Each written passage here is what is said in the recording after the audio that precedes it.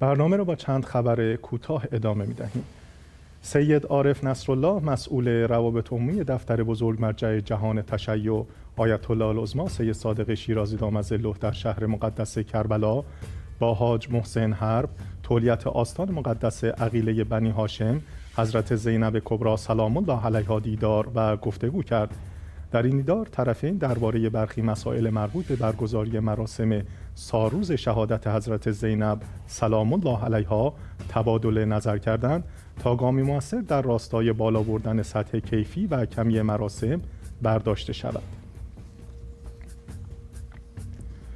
مسلمانان شهر برلین آلمان نسبت به نبود قبرستان مخصوص مسلمانان در این شهر اعتراض دارند و از همین رو از های محلی آلمان درخواست کردند که با تأسیس قبرستانی مخصوص در برلین موافقت کنند. گفتنی است مسلمانان که دهها سال است در برلین سکونت می کنند همواره مجبور شدند برای خاک کردن مردگان خود جسد آنان را به شهرهای دیگر آلمان منتقل کنند.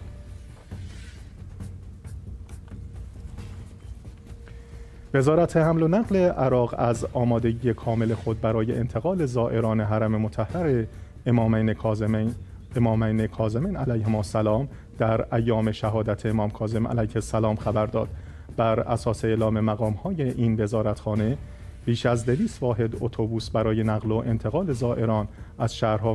و مناطق مختلف عراق به سمت شهر مقدس کاظمین و بازگرداندن آنان بعد از زیارت اختصاص یافته است.